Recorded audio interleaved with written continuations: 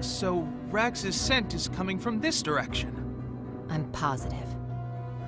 But, but there's a tank over there. It looks like Imperials are occupying this village. Yaha! Perfect! We'll just crush them as we roll on by. Don't be stupid.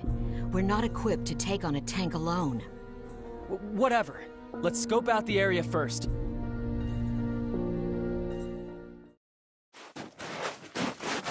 Hey, you find it yet? I don't see it anywhere. Sneaky little bastard. That goddamn mutt's got some nerve, stealing meat from Ausbruch. That was the last of our fresh rations. We're getting it back if we have to burn down this whole village! Huh? I think I see something. I'll smoke him out.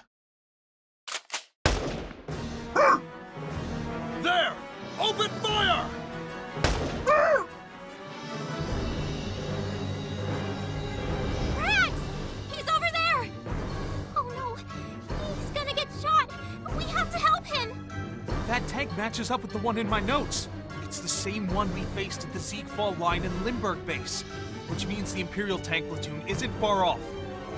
Fighting them head on without Claude would be risky, and that's a major understatement. It's my fault Rags is in trouble.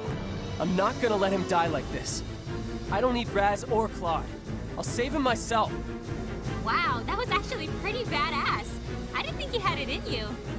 The hell's that supposed to mean? Rags, over here! Come on, boy! Hurry!